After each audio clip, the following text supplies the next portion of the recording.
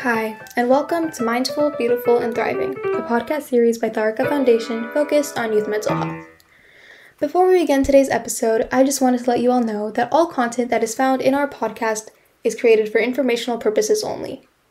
This content is not intended to be a substitute for professional medical advice, diagnosis, treatment, or therapy.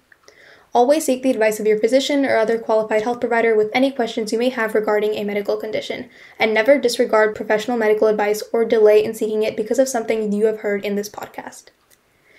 Thank you so much, and without further ado, let's get started. दोस्तों आज का हमारा कार्यक्रम सच में बहुत important और ध्यान खिंचवाने वाला है क्योंकि इस भागदौड़ भरी जिंदगी में तनाव स्ट्रेस और डिप्रेशन जैसे आम समस्याएँ बन गई है। कभी कभी तनाव और डिप्रेशन इतना ज़्यादा बढ़ जाता है कि इसका असर हमारी मेंटल हेल्थ पर पड़ने लगता है। और ये बीमारी छोटे छोटे बच्चों को तो जैसे निगल रही है। कभी कभी सही समय पर सही रास्ता न मिलने के कारण अकेले ही जूझ रहे हैं, लड़ रहे हैं और मामला सुसाइड तक पहुँच जाता है। मेंटल हेल्थ को समझना और इस पर बातचीत करना बहुत ज़रूरी हो चुका है। आजकल हमारे बच्चे ज़रूरत से ज़्यादा टीवी, कंप्यूटर, फ़ोन और सोशल मीडिया के साथ बिताते हैं। कोविड के बाद तो जैसे दुनिया ही बदल गई है, लेकिन हम समय को, सिचुएशन को ब्लेम नहीं कर सकते। हम बच्चों के बदलते जाते बिहेवियर को इग्नोर नहीं कर सकते। रिलेशनशिप के इश्यू हो स्कूल में एडजस्टमेंट के इश्यू डाइट के इश्यूज़ टाइम पर न सोने के इश्यूज़ कम्युनिकेशन के इश्यूज़ बच्चों के लिए बढ़ता ही जा रहा है। ये सिर्फ़ पेरेंट्स या तो टीचर्स के इश्यूज़ नहीं रहे, ये समाज के लिए भी बहुत चिंतनीय विषय हो गया है। बच्चों के मानसिक स्वास्थ्य के बारे में खुलकर बात करने और इससे जुड़ी समस्याओं का समाधान ढूंढना ही आज के समय की आवश्यकता है। इन्हीं सब बातों पर रोशनी डालने के लिए और उसकी देखभाल कैसे की जाए, उसके बारे में बताने के लिए हमारे साथ सात समंदर पार अमेरिका, कैलिफ़ोर्निया से जुड़े हैं डॉक्टर लीना खान जोड़े जो चाइल्ड सकाइट्रिस्ट है और कई ऐसी संस्थाओं के साथ जुड़कर बच्चों को और पेरेंट्स को प्रशिक्षित करके एजुकेट करके ये बीमारी को कैसे प्रिवेंट की जाए और अगर हुई है तो इसके साथ किस तरह से बर्ताव किया जाए उसके बारे में हमें बताएँगे। तो दोस्तों, डॉक्टर लीना का फिर से एक बार हम बहुत बहुत प्यार से वेलकम करते हैं। थैंक यू वेरी मच मैं बहुत बहुत आभारी हूँ आपने मुझे ये अपॉर्चुनिटी दी। होपफुली uh, आपके लिसनर्स को मैं कुछ आज अच्छे हेल्पफुल टिप्स पेरेंटिंग के दे पाऊँगी।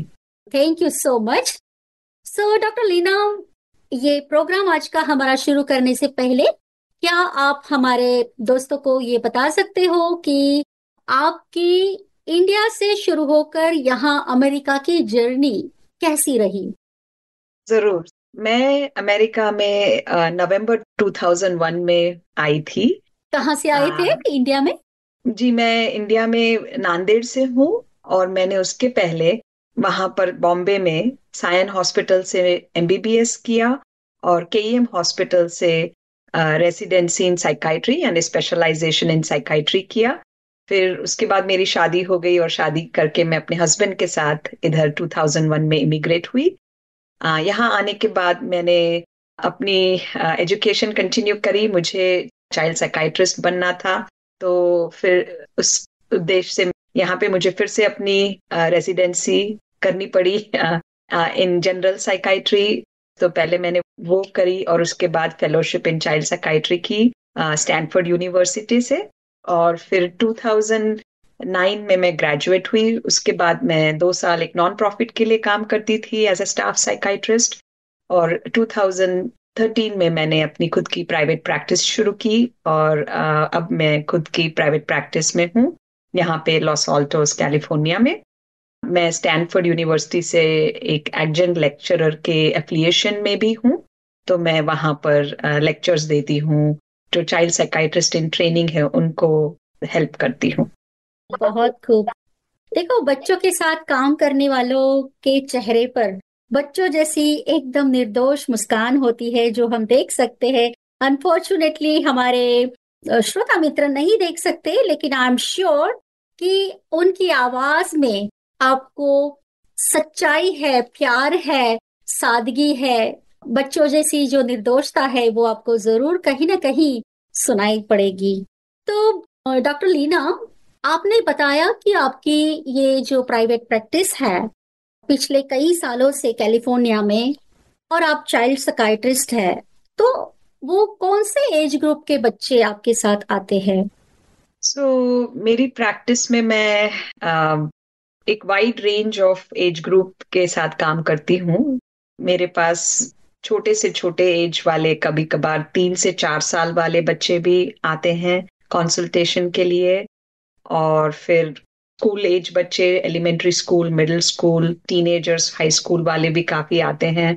और मैं फिर कुछ यंग अडल्ट जो कॉलेज गोइंग बच्चे हैं, उनके साथ भी मतलब टीनेजर्स ही हुए जब तक वो 20 साल के होते हैं तो यंग अडल्ट के साथ भी काम करती हूँ। अक्सर पेरेंट्स जब बहुत छोटी एज में बच्चों को मेरे पास लेके आते हैं, उनके कंसर्न्स होते हैं, उनकी डेवलपमेंट से रिलेटेड कि कहीं उनके माइलस्टोन्स नहीं मिल पा रहे हैं। उन्हें अगर कोई कंसर्न है कि उनके लैंग्वेज में डीले है, वो बराबर से बातचीत नहीं कर पा रहे हैं बराबर सोशली इंटरेक्ट नहीं कर पा रहे हैं। मोस्टली आजकल हम ज़्यादा अवेयरनेस की वजह से हम ऑटिज्म जैसे डायग्नोसिस के बारे में कंसल्टेशन प्रोवाइड करते हैं। कई बार पेरेंट्स देखते हैं कि बच्चे में थोड़े माइलस्टोन्स में डीले है या कुछ कंसर्न है तो उस वजह से वो लेके आते हैं मुझे इवेल्युएशन के लिए।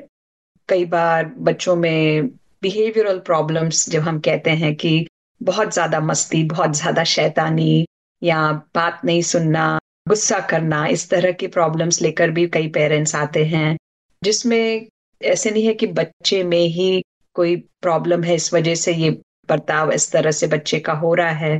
कई बार हम देखते हैं कि पेरेंटिंग घर के माहौल, जिस माहौल में बच्चा पल रहा है, उनके जो पेरेंटिंग स्टाइल है या एक पेरेंट का तरीका कुछ है और दूसरे पेरेंट का तरीका कुछ और है, जिसमें अगर गैप है, बड़ा डिफरेंस है तो उससे भी बच्चों के बिहेवियर पे असर पड़ता है।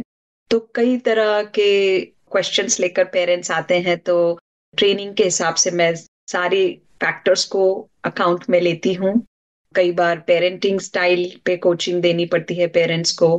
कई बार बच्चे में कुछ कंडीशंस लाइक एडीएचडी ऑटिज्म या एंजाइटी इस प्रकार के जो मेंटल हेल्थ चैलेंजेस हम आजकल देख रहे हैं बच्चों में, उसके बारे में उनको काउंसलिंग करना, उनकी सही तरह से ट्रीटमेंट करना, इस तरह के केसेस में हैंडल करती हूँ।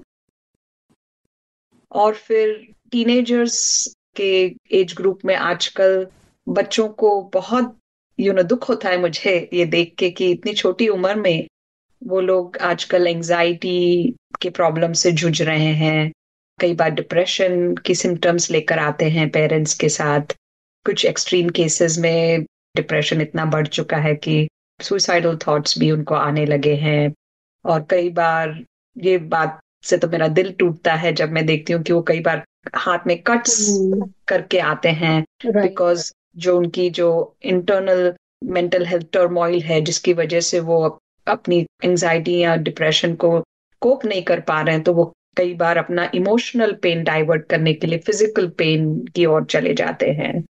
तो इस तरह के, कई तरह के केसेस आते हैं अलग अलग एज ग्रुप के अलग अलग चैलेंजेस हैं।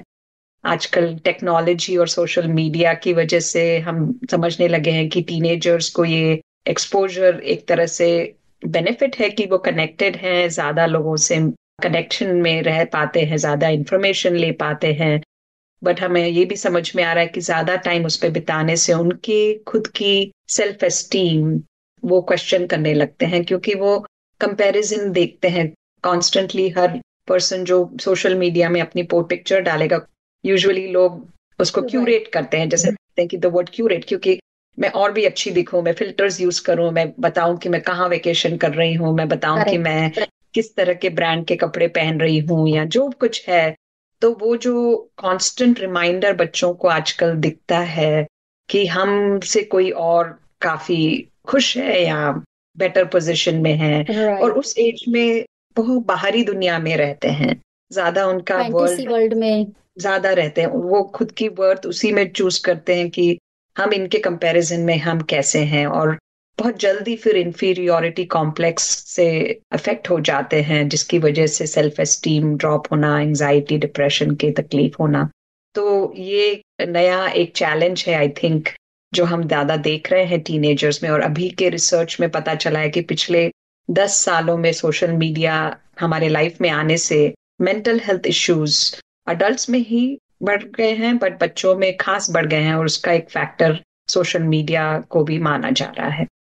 आपकी बात सही है और सोशल मीडिया और ये सब इतना इजीली अवेलेबल है कि घर में भी कम्युनिकेशन जैसे कम हो गया है, जैसे सभी के हाथ में अपने अपना खिलौना है और सभी अपने अपने में बिज़ी है तो कम्युनिकेशन कम हो गया है और उसकी वजह से भी यू नो लाइक पता भी नहीं चलता और हमारे मन में ये सारी बीमारी कैसे आ जाती है वो समझ में नहीं आता। तो आपने जब रिसर्च की बात की तो मुझे ये प्रश्न पूछने का मन हुआ कि ऐसी कोई स्टडी हुई है कि जिसमें पता चले कि कौन सी सोशियो इकोनॉमी ग्रुप वाले ये मेंटल इश्यूज़ ज़्यादा होते हैं? um, अभी इस पे और रिसर्च हो रहा है बट uh, जहाँ तक मेरी नॉलेज है हमें ये प्रॉब्लम अक्रॉस द बोर्ड दिख रही है। इस तरह से नहीं है कि जो लोअर सोशियो इकोनॉमिक स्टेटस वाले हैं जो थोड़े से प्रिविलेज्ड नहीं हैं ऐसे नहीं है कि उन्हीं में ये दिख रहा है। ये काफ़ी affluent well to do families के बच्चे में भी ये प्रॉब्लम उतनी ही दिख रही है जितनी लोअर सोशल इकोनॉमिक स्टेटस क्योंकि लोअर सोशल इकोनॉमिक वाले तो यू नो लाइक वो तो अपनी लाइफ के प्रॉब्लम सॉल्व करने में ही इतने बिज़ी है कि उनको शायद ये प्रॉब्लम प्रॉब्लम जैसे दिखाई भी नहीं देगा कि वो डॉक्टर के पास जाए है ना? और स्पेशली यहाँ यूएस में जब हमारे यहाँ पर इतने सारे you know like cultural differences है तो आपका क्या ऑब्जर्वेशन है? कौन से ग्रुप में ज़्यादा अवेयरनेस है और कौन सा ग्रुप ज़्यादा आपके पास आता है? सो so, ये भी आपने बहुत अच्छा क्वेश्चन पूछा। मैं कैलिफ़ोर्निया के एक काफ़ी affluent area Bay Area San Francisco के पास में मैं, प्रैक्टिस करती हूँ। तो यहाँ पे कई तरह के कल्चर के लोग हैं। कई बैकग्राउंड वाले Asians Indians Europeans American you know सभी तरह के काफ़ी एजुकेटेड फैमिली वाले लोग हैं। कुछ हिस्पैनिक कल्चर के लोग भी हैं जो थोड़ा लोअर सोशो इकोनॉमिक स्टेटस वाले हैं। सो so, मेरा एक्सपीरियंस ये रहा है कि मैंने देखा है कि सभी कल्चर्स में ये प्रॉब्लम इक्वली दिखाई दे रही है। ऐसे नहीं है कि अमेरिकन कल्चर वाले हैं तो वो ज़्यादा उनको नॉलेज है तो वो प्रॉब्लम्स लेके आते हैं। बिकॉज़ वर्ल्ड इतना फास्ट रैपिडली चेंज हुआ है कुछ सालों में specially with the advent of technology and how globally हमने एक चेंज देखा है जो सिमिलर लग रहा है हर एरिया में। पहले मैं इंडिया जाती थी तो मुझे लगता था कि ओ बहुत फ़र्क है। लेकिन पिछले पाँच दस सालों में मुझे लगता है कि वहाँ के टीनेजर्स भी वही इश्यूज़ से जूझ रहे हैं। वहाँ के पेरेंट्स भी वही इश्यूज़ से जूझ रहे हैं जो यहाँ के पेरेंट्स से मैं देखती हूँ। और डजेंट मैटर कि वो किस कल्चरल बैकग्राउंड से आ रहे हैं। ये ज़रूर फ़र्क पड़ता है कि अगर एजुकेटेड पेरेंट्स हैं और कल्चरली स्टिग्मा जो है मेंटल हेल्थ से एसोसिएटेड वो थोड़ा डेफिनेटली ज़्यादातर हम देखते हैं कि Asian family South Asian South East Asian families में मेंटल हेल्थ के प्रति जो स्टिग्मा है, जो एक बिलीफ है कि नहीं, हमें मेंटल हेल्थ के बारे में बात नहीं करनी हमें यू नो टफ होके अपने प्रॉब्लम्स को डील करना है और ये एक साइन ऑफ़ वीकनेस है, ये मैं थोड़ा ज़्यादा देखती हूँ उस कल्चर में। बट आई हैव टू से कि ऐसे नहीं कि मैंने कुछ अमेरिकन फैमिलीज़ में वो प्रॉब्लम नहीं देखी है मेंटल हेल्थ स्टिग्मा की, या यूरोपियन या कॉकेशियन फैमिलीज़ में, या हिस्पैनिक सभी कल्चर्स में मेंटल हेल्थ स्टिग्मा ज़रूर एग्जिस्ट करता है। कुछ में कुछ थोड़ा ज़्यादा, कुछ में कम। बट आई थिंक जो अवेयरनेस अब बढ़ रही है तो डेफिनेटली जो एजुकेटेड पेरेंट्स हैं, वो ज़्यादा ओपन माइंडेड हो रहे हैं। और बहुत ज़रूरी होता है कि आप जल्दी रिकग्नाइज करें जब आप कुछ चाइल्ड के बिहेवियर में चेंज देखते हो। बहुत ज़रूरी है कि आप जल्दी उसे कैच करें और काउंसलर या थेरेपिस्ट या साइकाइट्रिस्ट के पास जाके कि जल्दी हम उसको ठीक कर सकते हैं और बैड आउटकम्स से बच सकते हैं। दूसरा सवाल ये आता है कि क्या mental health issue by birth होता है? सो मेंटल हेल्थ इश्यू जैसे कई तरह की फ़िज़िकल हेल्थ इशू जैसे होती हैं या बीमारियाँ, हम जो फ़िज़िकल हेल्थ की ज़्यादा हम समझते हैं, जैसे हाई ब्लड प्रेशर हाइपरटेंशन कहिए डायबिटीज़ कहिए हार्ट डिज़ीज़ कहिए, ये जो हम समझते हैं कि ये फैमिलीज़ में रन करती हैं, उसी तरह से हम ये भी समझने लगे हैं मोर और more from research about mental health conditions की मेंटल हेल्थ की बीमारियाँ भी फैमिलीज़ में रन कर सकती हैं। There is definitely biological component और जेनेटिक कंपोनेंट जिसे हम कहते हैं, जिससे कि आप उस वलनरेबिलिटी से एक्सपोज हो सो आप वलनरेबल हो, या आपको चांस है कि आप उस प्रॉब्लम की ओर जा सकते हो। अगर आपके फैमिली मेंबर्स को एंजाइटी डिसऑर्डर या डिप्रेशन की बीमारी है तो आपके बच्चे में उस तकलीफ़ के प्रति या उस बीमारी का होने का चांस बढ़ा हुआ है। ऐसे नहीं है कि, हो बिकॉज़ ये फैमिली में रन करेगा तो मेरे बच्चे को ज़रूर हो ही जाएगा और हम कुछ नहीं कर सकते। हम ये समझते हैं कि वलनरेबिलिटी एक चीज़ है। अगर मुझे पता है कि डायबिटीज़ मेरे फैमिली में रन करती है तो मैं अपने डाइट के प्रति, अपने लाइफस्टाइल के प्रति अगर मैं ज़्यादा अलर्ट हो जाती हूँ तो मेरी चांस ऑफ़ डायबिटीज़ होने की लो कर सकती हूँ या पुश आउट कर सकती हूँ कि जिस तरह से मेरे पेरेंट्स को मे बी चालीस साल पचास साल में ये डायग्नोसिस हुआ लेकिन अगर मैंने अपना अच्छे से ख्याल रखा तो मैं उस बीमारी को और भी पुश कर सकती हूँ। शायद मुझे वो बीमारी हो। उसी तरह से हम ये भी समझते हैं कि मेंटल हेल्थ की कंडीशंस को अगर हम समझें कि वलरेबिलिटी है या यू you नो know, ये प्रॉब्लम मेरे फैमिली में एग्जिस्ट करती है अगर हम हमारा मेंटल हेल्थ के प्रति जो हम प्रिवेंशन और जो केयर का मॉडल है फ़िज़िकल हेल्थ की तरह उसी तरह से अगर हम मेंटल हेल्थ का अपना ख्याल रखें, सचेत रहें, पहले से अवेयर रहें, किस तरह से स्ट्रेस को हम अच्छे से डील करें, किस तरह से लाइफस्टाइल चेंजेस जिसमें ठीक से सोना, सही टाइम पे उठना, खाना, सही न्यूट्रिशन लेना एक्सरसाइज करना, ये कई तरह के कोपिंग मैकेनिज्म्स हैं जिससे हम स्ट्रेस को अगर स्ट्रेस के लेवल पे ही मैनेज करें तो हम मेंटल हेल्थ डिसऑर्डर्स से बच सकते हैं। आप नेचर के हिसाब से अगर आप जेनेटिकली वनरेबल हो लेकिन आपकी जो एनवायरमेंट है और स्पेसिफिकली हम जब बच्चों की बात करते हैं कि उनका जो नर्चरिंग एनवायरमेंट अगर अच्छा रहता है जहाँ पेरेंट्स उनको आ, समझते हैं एक ओपन कम्युनिकेशन रहता है एक ओपन कॉन्वर्जेशन रहती है कि मेंटल हेल्थ के बारे में भी हम ओपनली बात करें किस तरह से ख्याल रखें कुछ चैलेंजेस आ रही हैं तो मदद लें। तो अगर हम नेचर नर्चर को अगर साथ में अच्छे से यू नो कंट्रोल कर सकते हैं तो बैड आउटकम्स नहीं होंगे। लेकिन अगर environmental stress in addition to आपकी बायोलॉजिकल वनरेबिलिटी अगर इसमें कॉम्बिनेशन अगर हो जाता है तो अक्सर वो बच्चे ज़्यादा प्रोन रहते हैं मेंटल हेल्थ डिसऑर्डर्स के लिए। सो so, क्या हम ऐसा कह सकते हैं कि मेंटल हेल्थ डिसऑर्डर मतलब कहीं ना कहीं इमोशनल इम्बैलेंसिंग से जुड़ा हुआ है। जी जी, बिल्कुल। डिस्क्रिप्शन में कई बार अपने पेशेंट के पेरेंट्स से डिस्कस करके उन्हें समझाने की कोशिश करती हूँ कि हम मेंटल हेल्थ का शब्द बाद में डिक्शनरी में लाए। पहले अगर हम वी लुक एट कि हमारी इमोशनल हेल्थ कैसी है।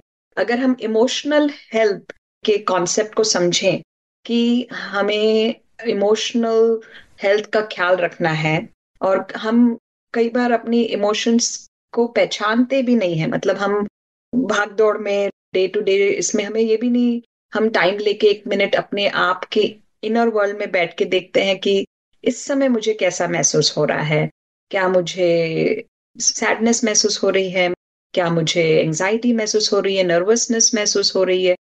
तो जो हम कॉन्सेप्ट ऑफ़ इमोशनल लिटरेसी जिसकी हम अपने आप के साथ, हम ह्यूमन बीइंग्स हैं तो हम, हमारी बीइंग के साथ अगर दिन में कम से कम एक या दो बार या कई बार एक्चुअली हो सके तो लेकिन पहले से ही हम वो आदत बनाएँ कि हम हमारे इनर वर्ल्ड में जाएँ और हमारी इमोशन को लेबल करें कि हम वो वर्ड चूज़ करें कि इस समय मुझे कैसे लग रहा है, ये सिचुएशन हुई, ये बातचीत हुई, ये इंटरेक्शन हुआ, उसकी वजह से मुझे कैसे महसूस हो रहा है, मैं किस तरह से इस फीलिंग को डील करूँगी।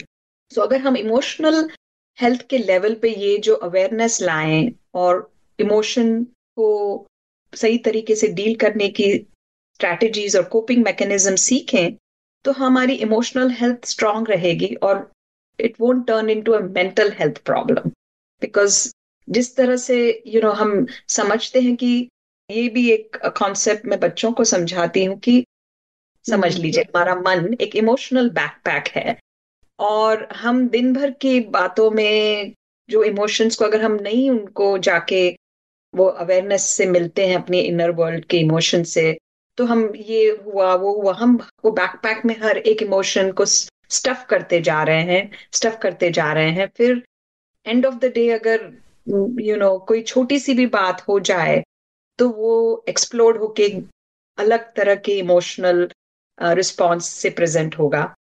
एंगर या बिग इमोशनल आउटबर्स्ट जो कई बार हम उसे टाल सकते हैं या उसे प्रिवेंट कर सकते हैं। अगर हम सब लोग यू you नो know, घर में अपने एज पेरेंट्स uh, बच्चों के साथ हम खुल के हमारे इमोशंस के बारे में बात करें और थोड़ा टाइम बिता करके कि अच्छा इस चीज़ से मुझे ऐसे लगा तो मैं ये मुझे फीलिंग क्या कह रही है? How to get over this क्या मुझे जस्ट इस फीलिंग के साथ बैठना है और ये वेव की तरह आके चले जाएगी?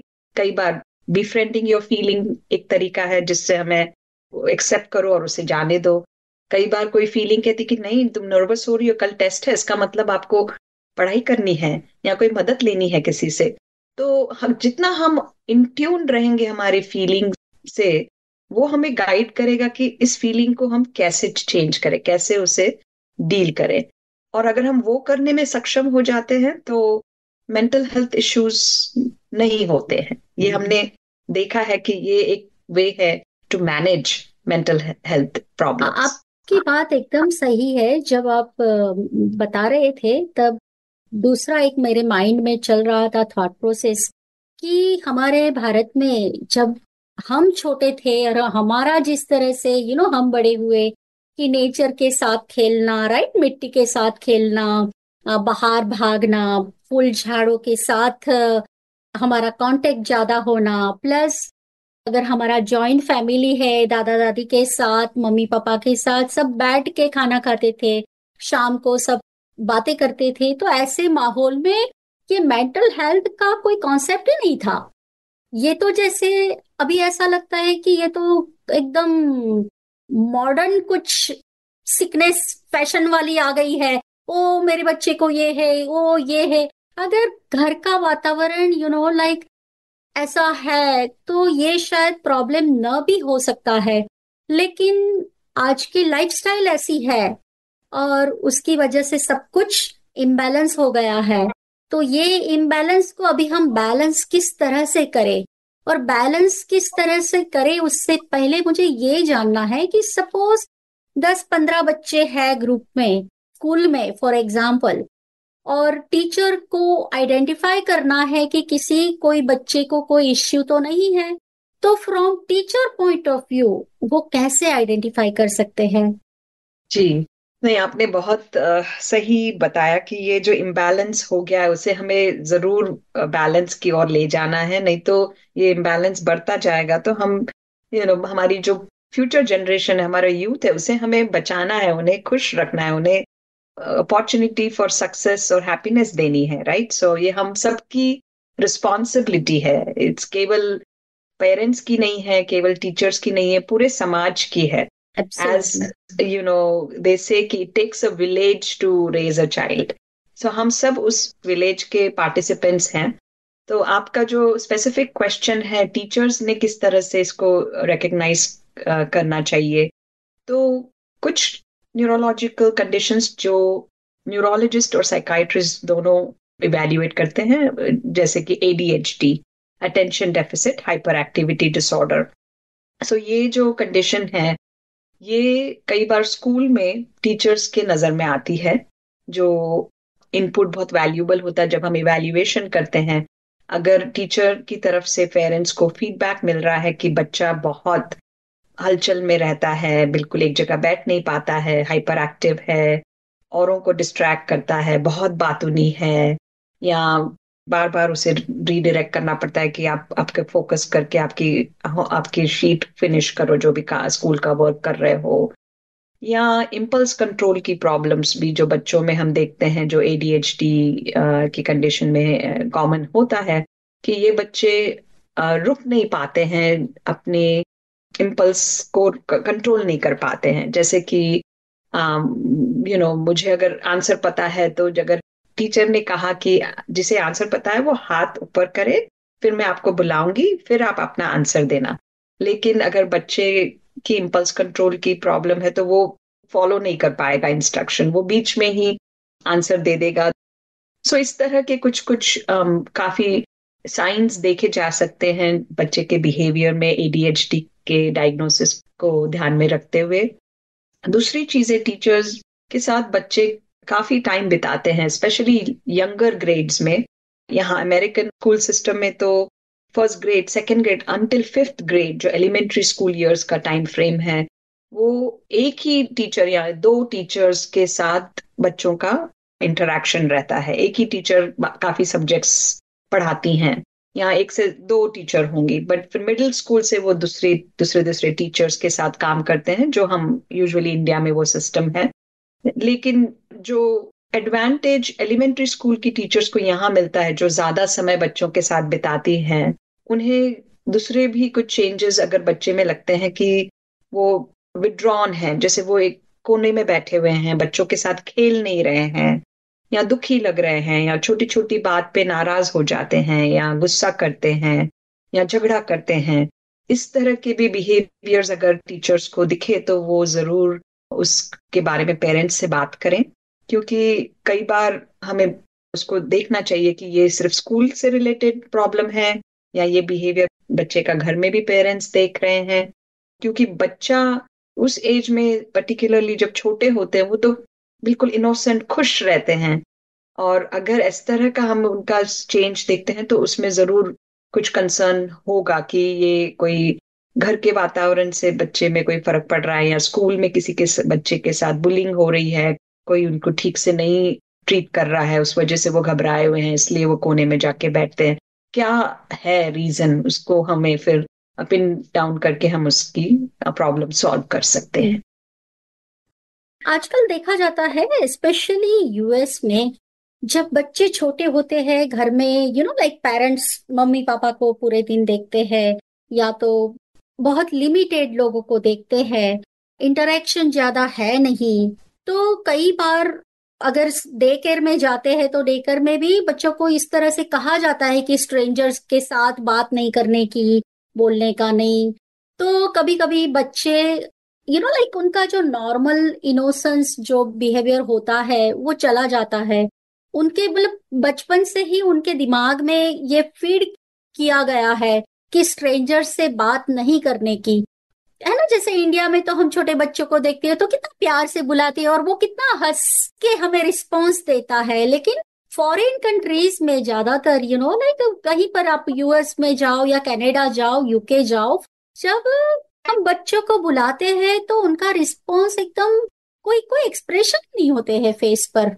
जी वो हमें रिस्पॉन्ड नहीं हाँ बहुत ठंडा। तो मतलब वो नॉर्मल नहीं लगता है ऐसा जी।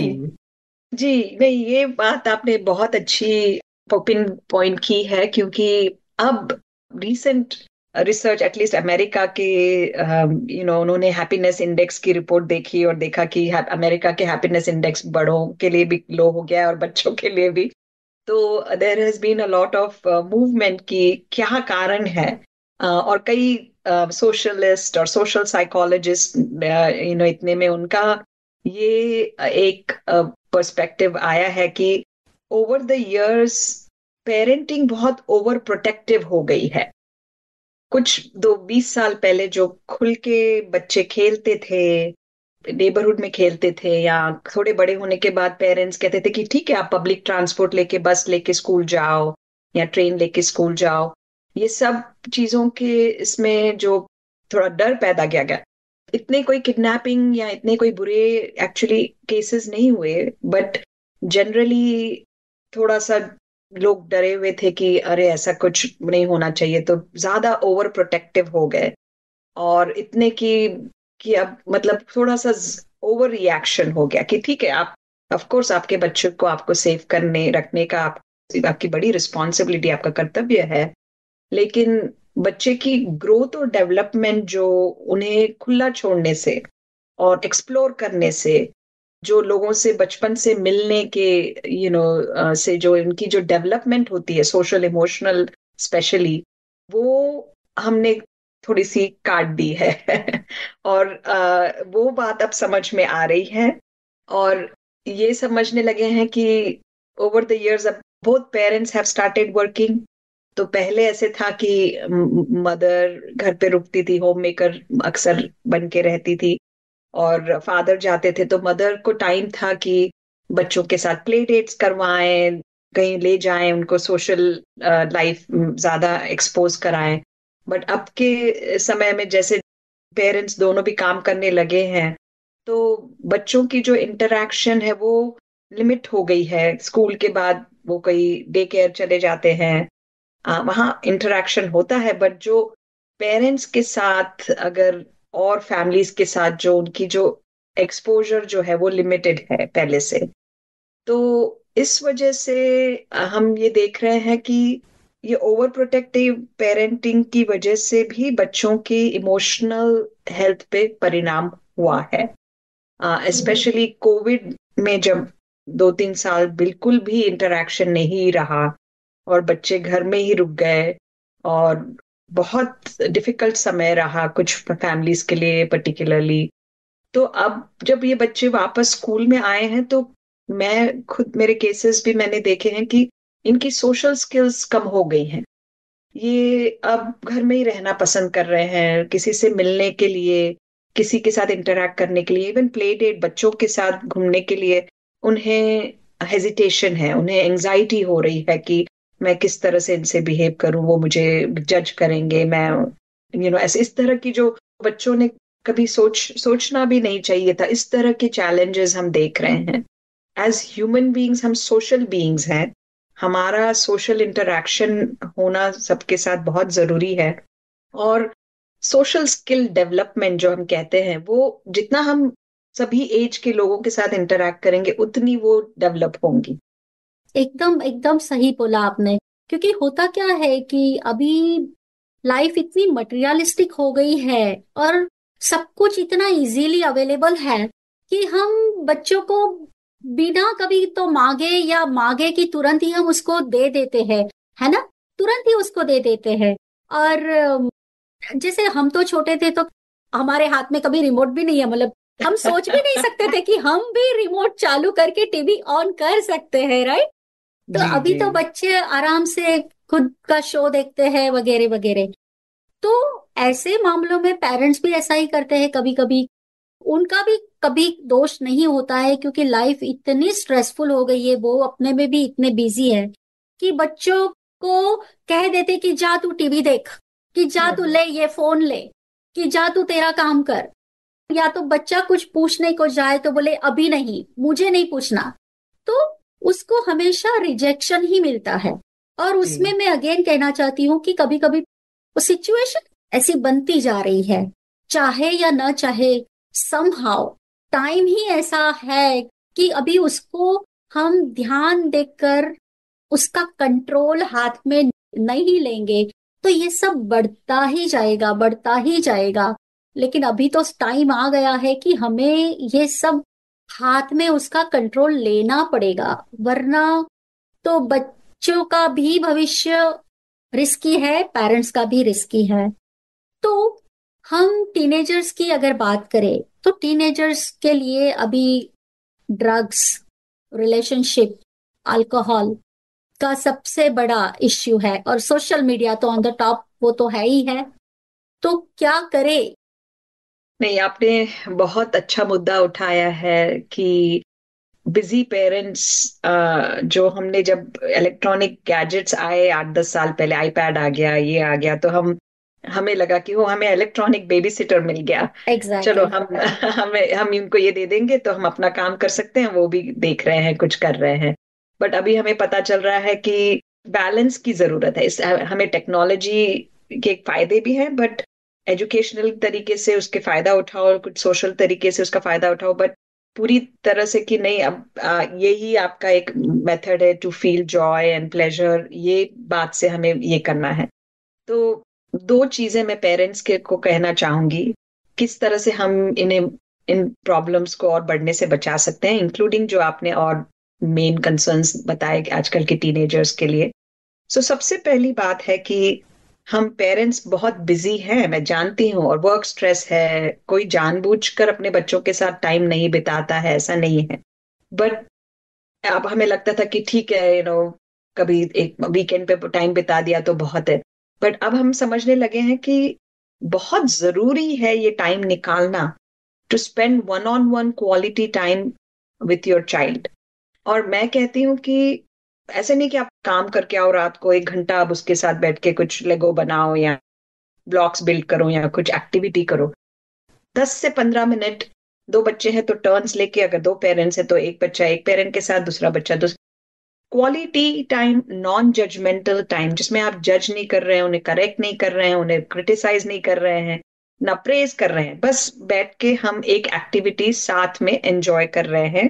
वो जो बॉन्ड आप आपके बच्चों के साथ बना रहे हो, वो जो फाउंडेशन आपकी रिलेशनशिप में उनके साथ बन रही है, जब आप ये एक एफर्ट लेके उनके साथ वन ऑन वन टाइम बिताते हो रोज that is the biggest predictor for compliance from your child इसका मतलब यह है कि जहाँ जहाँ ये हमने देखा है रिसर्च से, मैं मेरे क्लिनिकल प्रैक्टिस में भी देखती हूँ, जब मेरे बच्चे के साथ मेरा फाउंडेशन जो रिलेशनशिप का स्ट्रांग है, जिसमें मैंने टाइम डाला है, मैंने उनके साथ ये एफर्ट लिया है कि वो मेरे पास कभी भी किसी चीज़ लेकर प्रॉब्लम को लेकर आ सकते हैं।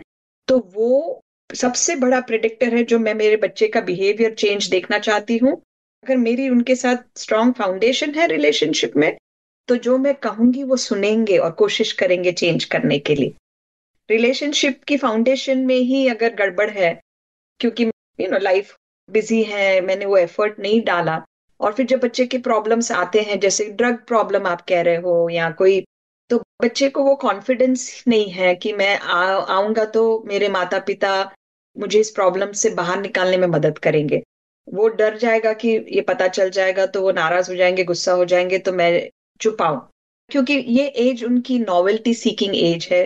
इतने सारे बच्चे unfortunately exposure to drugs alcohol अब बहुत जल्दी हो गया है। तो बाकी बच्चे कर रहे हैं तो उन, उन्हें भी पीयर प्रेशर में टेम्पटेशन होता है। वो एज ऐसी है कि वो रिस्क लेना चाहते हैं कोशिश करके देखना चाहते हैं कि ये करने से क्या होगा मुझे पता करना है। तो कई बार गलत दिशा में चले जाते हैं लेकिन अगर गलत दिशा में चले जाएँ और उनको हेल्प की ज़रूरत है अगर आपकी आपके बच्चे के साथ अच्छी रिलेशनशिप होगी तो वो आपके पास आएँगे वो प्रॉब्लम को लेकर के और फिर आप उसे अच्छे से सॉल्व कर सकेंगे। कई बार बच्चे बहुत प्रॉब्लम में आगे बढ़ जाते हैं, फिर पेरेंट्स को पता चलता है और फिर काफ़ी देर हो चुकी होती है। आपने सच में बहुत सुंदर ध्यान खिंचवाया है कि रिलेशनशिप इतनी इम्पोर्टेंट है। बच्चों को ये फीलिंग देना कि मैं कुछ भी कह सकता हूँ मेरे पेरेंट्स को, है ना? एक्सेप्टेंस उनको एक्सेप्टेंस की फीलिंग देना उनको डर नहीं होना चाहिए। दूसरी बात कभी कभी ये होता है कि हम बच्चों को वो तो हमसे छोटे हैं यू नो तो हम बच्चों को कभी कभी डिसरिस्पेक्ट करते हैं। उन उनके व्यूज़ को हम डिसरिस्पेक्ट करते हैं। आई थिंक अभी जमाना बदल गया है। कब बदल गया है? हम पीछे हैं। बच्चे हमसे कई गुना आगे है। उनके थॉट्स कई गुना शायद आगे है। जो हम कभी कभी एज अ पेरेंट उसको कोप अप नहीं कर सकते हैं इसीलिए हमारे पास आंसर नहीं होता है इसीलिए हम उनको चुप कर देते हैं। और वो एज छोटी है छोटे शरीर में है तो वो फेस करने की उनमें क्षमता नहीं है इसीलिए वो चुप हो जाते हैं लेकिन वो सप्रेशन कहीं ना कहीं से वो निकलता है। और शायद वो सप्रेशन कभी कभी मेंटल हेल्थ का इश्यू बन जाता है। बिल्कुल आपने एकदम बहुत इम्पोर्टेंट uh, बात कही। मैं उसमें दो पॉइंट शेयर करना चाहूँगी कि एक है कि अगर मेरे बच्चे को जैसे आपने कहा कि छोटा है एज में छोटे शरीर में है पर वो ह्यूमन बीइंग है उसमें भी वही क्वालिटीज हैं एंड मुझे उसे इक्वल दर्जा देना है। अगर मैं रिस्पेक्ट दूँगी तो रिस्पेक्ट मुझे वापस मिलेगा। पर्टिकुलरली टीनेज फ़ेज़ में जब वो खुद को फिट इन होना चाह रहे हैं, खुद को, खुद की नींव बना रहे हैं समाज में, अपने दोस्तों में तो उस समय बहुत ज़रूरी है कि आप उन्हें रिस्पेक्ट से ट्रीट करें, उन्हें नॉन जजमेंटली सुने, उनकी आइडियाज़ को, उनके विचारों को, उनके पर्सपेक्टिव्स को। और पेरेंटिंग का जो स्टाइल है, वो हमें टीनेजर्स के साथ बदलना पड़ता है फॉर श्योर. बचपन से ही हम उन्हें इज़्ज़त और प्यार से अगर as a human being as an equal treat करें तो वो हमें भी रिटर्न में मिलेगा लेकिन जब टीनेज में वो चले जाते हैं तो जो अथॉरिटेटिव पेरेंटिंग जिसमें जब छोटे थे तो हमें ज़्यादा उनकी चार्ज लेनी पड़ती है हम अथॉरिटी से उन्हें समझाएँ कि ये सही है, ये गलत है, ये ठीक है, ये ऐसे करना है बट जब टीनेजर बन जाते हैं, जब उनके और आजकल के बच्चों को इतनी एक्सपोजर है कंटेंट और नॉलेज बहुत बहुत मेच्योर हैं, बहुत बहुत नॉलेजेबल हैं। तो इवन मोर सो हमें शिफ्ट लेना है from authoritative parenting to collaborative parenting हमें एक टीम बनानी है अपनी। आप उनका पर्सपेक्टिव उनके विचार सुन ले। आप अपना अपना पर्सपेक्टिव अपने विचार सामने रखें। और फिर आप नेगोशिएट करें। आप मिलकर एक कॉमन ग्राउंड पे आ जाएँ कि ठीक है, आपकी ये बात हमने मानी, आप हमारी ये बात मानो। तो फिर there is definitely a lot of success in the relationship lot of happiness lot of problems that can be can be avoided so so doctor Leena आपके ये जो बच्चे मैं तो बच्चे कहूँगी पेशेंट नहीं कहूँगी उनको। आ, बच्चे आते हैं आपके पास आ, तो उनको क्योर करने के लिए आप क्या करते हो? मेरे पास जब तक बच्चे आते हैं, तब तक कई बार प्रॉब्लम्स बढ़ चुकी होती हैं। कई बार वो काउंसलिंग और थेरेपी से गुजर चुके होते हैं और काउंसलर को लगता है कि शायद अब मेडिसिन या मेडिकेशन भी इस सिचुएशन में उन्हें हेल्प की ज़रूरत पड़ सकती है। तो कई बार एज अ चाइल्ड साइकाइट्रिस्ट मैं, मेरी प्रैक्टिस में what we call as medication management मतलब एंजाइटी या डिप्रेशन या एडीएचडी इस तरह के कंडीशंस के लिए जो हमें कोर्स uh, साइंस के द्वारा पता है जो कुछ सेफ़ मेडिसिन हैं उन्हें कैसे प्रिस्क्राइब करना है उससे कैसे बच्चे की और फैमिली की मदद करनी है वो एक हम काम करते हैं।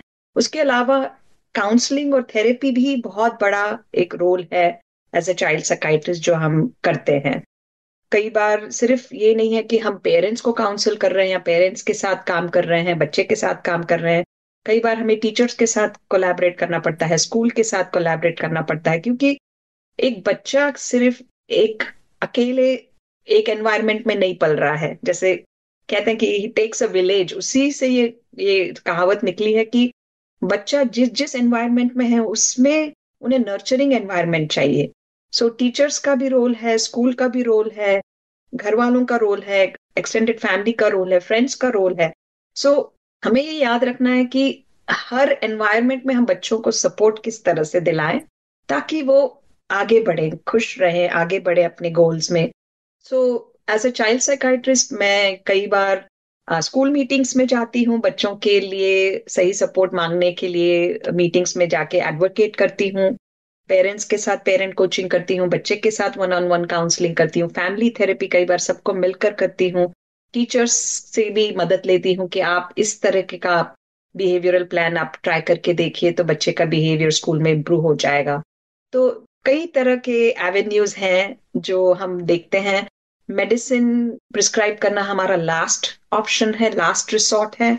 हमें पता है कि साइकोसोशल इंटरवेंशन जिसे हम कहते हैं कि काउंसलिंग या सोशल सपोर्ट से जो हम फ़ायदा देख सकते हैं और अगर हम जल्दी इस प्रॉब्लम को कैच करते हैं तो सिर्फ़ काउंसलिंग और सोशल सपोर्ट से ही बच्चे के प्रॉब्लम्स ठीक हो जाते हैं कई बार लेट होने की वजह से फिर कभी मेडिसिन भी कुछ समय के लिए लेनी पड़ती है राइट right. आप कभी ऐसी कोई थेरापी का यूज़ करते हो कि जहाँ प्ले वे मेथड है पेरेंट्स को भी पता ना चले चाइल्ड को भी पता ना चले और ऐसी एक्टिविटी देकर उनकी थेरापी आप कर रहे हो? ऐसा कुछ आप इंट्रोड्यूस कर रहे हो? जी जी। सो so, छोटे बच्चों के साथ प्ले थेरेपी ही करना पड़ता है जिससे बहुत सटली आप गेम्स में आर्ट कर रहे हो कुछ खिलौनों से खेल रहे हो स्टोरी बना रहे हो डॉल हाउस है पेरेंट्स है तो बच्चा उसमें कई बार अपने घर की जो भी उसको जो प्रॉब्लम है वो दिखा देगा स्टोरी exactly. बताते हुए। और फिर हम उसे सिखाएँगे कि किस तरह से यू you नो know, हम उसको उसको ठीक करें किस तरह से उसको ओवरकम करें। तो प्ले um, थेरेपी छोटे बच्चों में बहुत अच्छे से काम करती है। थोड़े बड़े हो जाते हैं जहाँ पे उनकी थोड़ी सी थिंकिंग डेवलपमेंट जो हम कहते हैं एब्स्ट्रैक्ट थिंकिंग जो थोड़ा ज़्यादा इमेजिनेशन और बड़े कॉन्सेप्ट समझने लगते हैं। तो एक प्रकार की थेरेपी है जो काफ़ी हेल्पफुल है एंजाइटी um, और डिप्रेशन ठीक करने में बच्चों के लिए। उसका नाम है कॉग्नेटिव बिहेवियरल थेरेपी इसमें हम फोकस करते हैं कि हम हमारे विचारों को अगर हम चेंज करें नेगेटिव थिंकिंग से पॉजिटिव या न्यूट्रल थिंकिंग तो वो हमारी फीलिंग्स को भी चेंज करेंगे और फिर फीलिंग्स चेंज होने से हमारे बिहेवियर में भी चेंज आएगा। आ, ये सारे चेंजेस कहने से तो नहीं आने वाले। है ना? जी। कहने से तो नहीं आने वाले। बच्चे जब तक देखेंगे नहीं पेरेंट्स को देखेंगे नहीं करते हुए या तो उनको ऐसा माहौल नहीं दिया जाएगा तब तक बच्चों में अंदर से कुछ बदलाव नहीं आएगा। तो उसके लिए आप क्या करते हो? आप कोई संस्था के साथ जुड़े हुए हो या बच्चों को प्लेसमेंट करते हो? क्या करते हो आप? जी जी। बच्चे अगर थोड़े इवन टीनेजर्स ही कहिए प्री टीन्स कहिए, इनके साथ हम अकेले सिर्फ़ काम नहीं करते, हम हमेशा पेरेंट्स को भी इन्वॉल्व करते हैं, उन्हें भी वो स्किल्स सिखाते हैं ताकि वो रियल लाइफ में, घर के वातावरण में वो स्किल्स उन्हें रिमाइंड करें कि इस टाइम पे आप ये कोशिश करके देखो, आपके काउंसलर ने ये, आपको ये ट्रिक कही थी या ये बात कही थी। ये जो है मैंने ये देखा है कि बच्चों के साथ पेरेंट्स को भी इक्वली हेल्प की ज़रूरत होती है। और मेरी प्रैक्टिस में मैंने ये जो एक गैप देखा कुछ साल पहले कि पेरेंट्स को नॉलेज नहीं है एजुकेशन नहीं है कि किस तरह से मैं मेरे बच्चे की प्रॉब्लम को जल्दी कैच करूँ। किस टाइम पे ये नॉर्मल डेवलपमेंट से थोड़ा अदर साइड ऑफ़ प्रॉब्लम की ओर जा रहा है।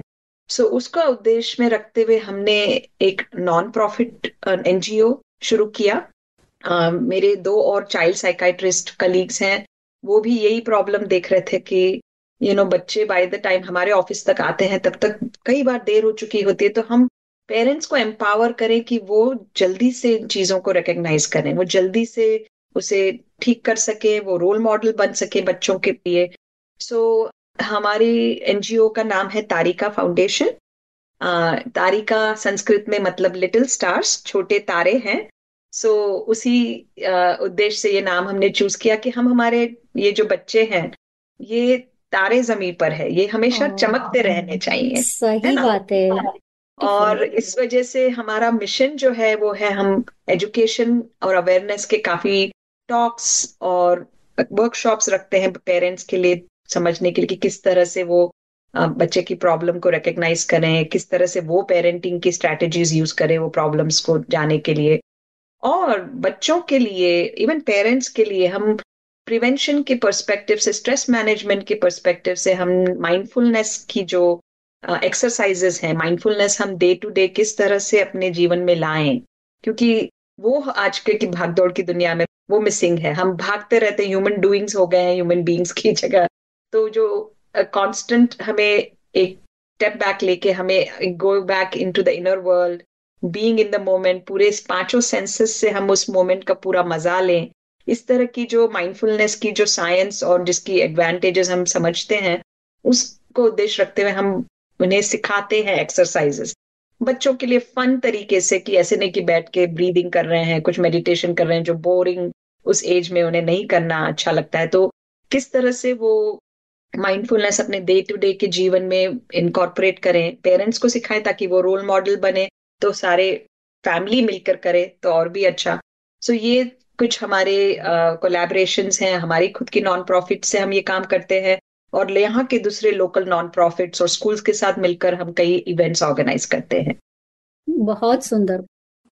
ये आपका जो तारिका फाउंडेशन है उसके बारे में जान के सच में बहुत अच्छा लगा। और वो कैलिफ़ोर्निया में है राइट जी, कैलिफ़ोर्निया में फाउंडेड है। मैंने इंडिया में भी जाके कई बार वर्कशॉप्स किए हैं, जब जब मैं इंडिया आती हूँ। तो नागपुर, पुणे, नांदेड़, जहाँ जहाँ मैं गई हूँ, वहाँ पे हमने माइंडफुलनेस के वर्कशॉप्स किए हैं पेरेंट्स के लिए। वहाँ के थेरेपिस्ट को हमने कोचिंग दी है ताकि वो इस काम को आगे लेके जा सके, वहाँ के बच्चों को और और हेल्प कर सके। तो हमारा वर्क इंटरनेशनली भी हो रहा है। और आ, मुझे बहुत खुशी हो रही है कि मुझे एक और इंटरनेशनल एवेन्यू दिया है आपने जिससे मैं तारिका के बारे में भारत के लोगों को भी बता सकती हूँ। ज़रूर ज़रूर। डॉक्टर लीना आपके लिए एक दूसरा सवाल है कि अभी जब इंटरनेट के ऊपर बच्चों को हम फ़ोन दे देते हैं और बच्चे हमें कभी अडल्ट को सवाल पूछते हैं तो कभी कभी पेरेंट्स बच्चों को ये कहते हैं कि जा तू सीरी को पूछ या तो गूगल को पूछ। सही बात है। है ना? तो अभी तो आर्टिफिशियल इंटेलिजेंस आगे बढ़ रहा है अभी तो खिलौने भी एआई के निकलेंगे। तो शायद पेरेंट्स कहेंगे कि जा तू तेरा एआई खिलौने को पूछ उसके साथ बातें कर तू। है ना? तो ह्यूमन इंटरेक्शन कम होता जाएगा और और हम इलेक्ट्रॉनिक्स के साथ आर्टिफिशियल इंटेलिजेंस के साथ जुड़ते जाएँगे। तो मुझे लगता है ये ये जो मेंटल हेल्थ का इश्यू है, ये तो बहुत ही रिस्की जोन में है। तो आप अंत में हमारे श्रोता मित्रों को क्या कहेंगे?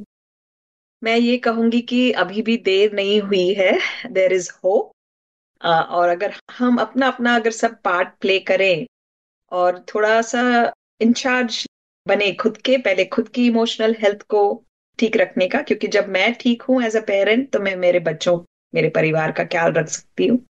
तो मैं अगर रोल मॉडल बनूं कि मैंने अगर घर पे दिखाया कि मैं एक हेल्दी बैलेंस रखती हूँ टेक्नोलॉजी यूज़ में और बाकी मेरे day to day self care और फैमिली टाइम और इस मेरे वर्क के कमिटमेंट्स का तो मुझे देखकर मेरा बच्चा उससे ज़्यादा सुनेगा और उससे ज़्यादा फॉलो करेगा। रादर देन मैं उसके पीछे नैगिंग करूँ या मैं कंट्रोल्स ना हूँ या मैं इंटरनेट बंद कर दूँ कई बार वो करना पड़ता है।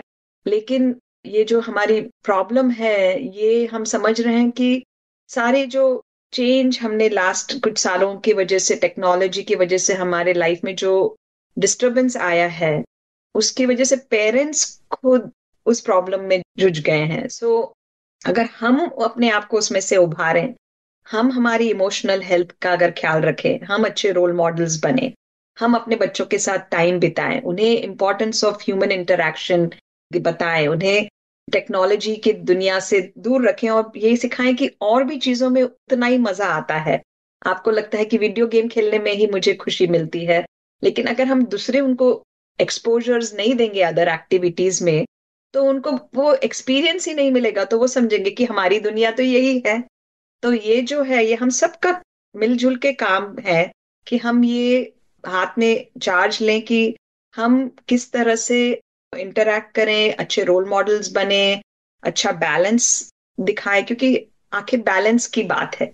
हम चीज़ों को अपने एडवांटेज के लिए यूज़ करें बट जब हमें पता चलता है कि ज़्यादा यूज़ करने से हमें हार्म हो रहा है डिसएडवांटेजेस हो रहे हैं तो हम बैलेंस की ओर मुड़े। तो जैसे हम डाइट करते हैं वेट लॉस के लिए गुड फ़िज़िकल हेल्थ के लिए वैसे हमें इंटरनेट डाइट भी आजकल लाना चाहिए। सही ये बहुत ज़रूरी है क्योंकि हमें पता है कि हम उस दिशा में फंस जाते हैं तो हमें एक बैलेंस रखना है जो हमारे लिए सही है। बच्चों को इलेक्ट्रॉनिक फास्टिंग देना है। इलेक्ट्रॉनिक फास्टिंग देना है डिटॉक्स डिटॉक्स टेक्नोलॉजी डिटॉक्स करें घर में आपके रूल्स बनाए टेक्नोलॉजी फ्री जोन्स की बात करें, कि खाते समय हम माइंडफुल ईटिंग करें, हम फैमिली के साथ मिलकर मज़े से खाने का लुत्फ उठाएँ तो उस टाइम पे सारे गैजेट्स न टीवी न कोई भी चीज़ चलनी नहीं चाहिए। बाथरूम में आप टेक्नोलॉजी नहीं यूज़ कर सकते हो। आप कार राइड में जब मैं आपको स्कूल छोड़ रही हूँ, उस समय, क्योंकि वो मेरा वन ऑन वन टाइम आपके साथ हो सकता है।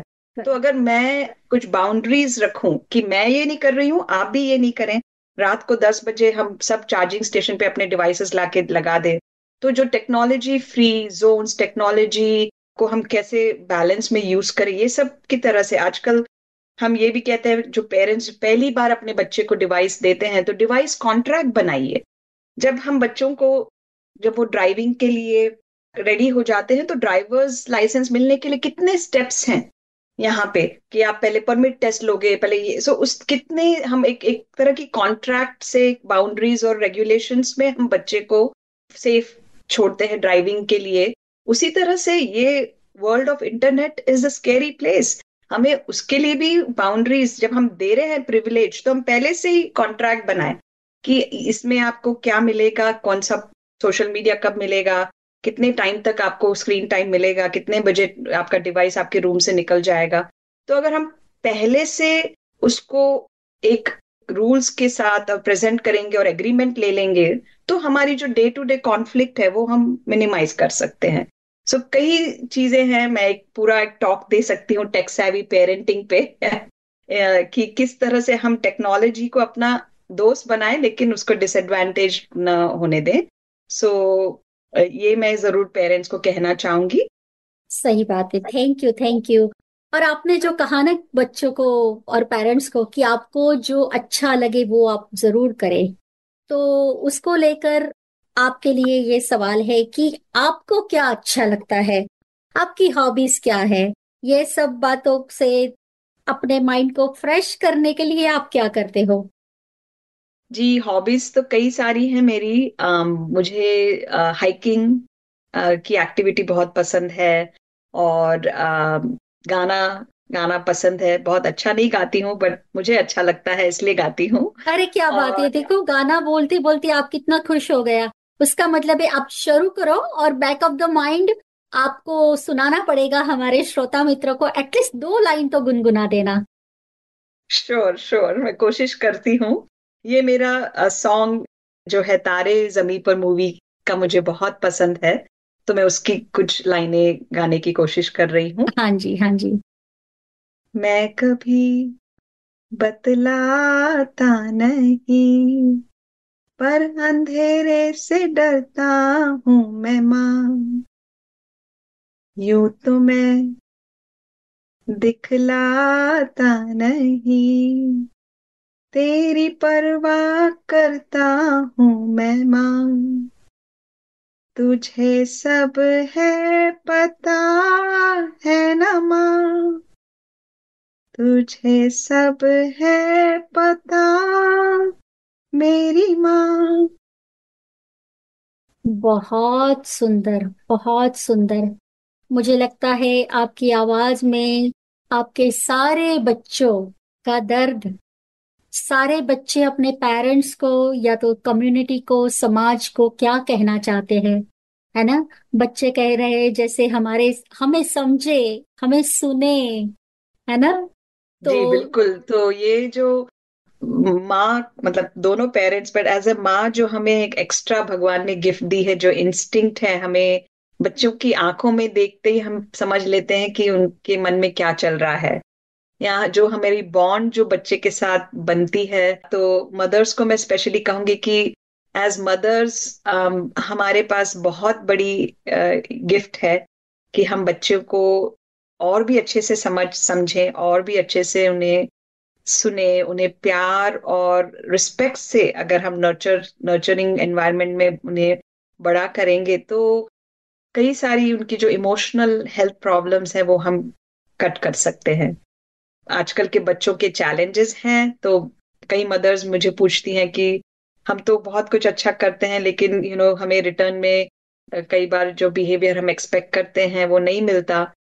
तो है नए जमाने में नए तरीके से बच्चों के एक्सपोजर हो रही है उनके कई चैलेंजेस आते हैं बट जो हम रिस्पेक्ट और प्यार से जो उन्हें समझा सकते हैं वो जो कॉन्सेप्ट हम ऑल्सो कहते हैं कि माइंडफुल पेरेंटिंग आप उन्हें इक्वल दर्जा दें, उन्हें सुने, उन्हें समझें और कोशिश करते रहें उस डायरेक्शन में तो आपको बदलाव दिखेगा। कई बार हम एक दो बार करते हैं और समझते हैं कि नहीं, काम कर रहा है। तो मैं कहूँगी कि आप होप ना छोड़े पेशेंस दिखाएँ, क्योंकि बच्चे डेफिनेटली रेसिप्रोकेट करेंगे आपको। आप उनको समझेंगे, आप उनको अंडरस्टैंड करेंगे जज नहीं करेंगे उन्हें एक्सेप्ट करेंगे तो वो जरूर चेंज लाएंगे thank you so much You are listening to Mindful, Beautiful, and Thriving, a podcast series by Tharaka Foundation. As part of our youth series, we will be releasing new episodes every Friday, so make sure to continue to check those out. We hoped you enjoyed this podcast, and thank you so much for listening.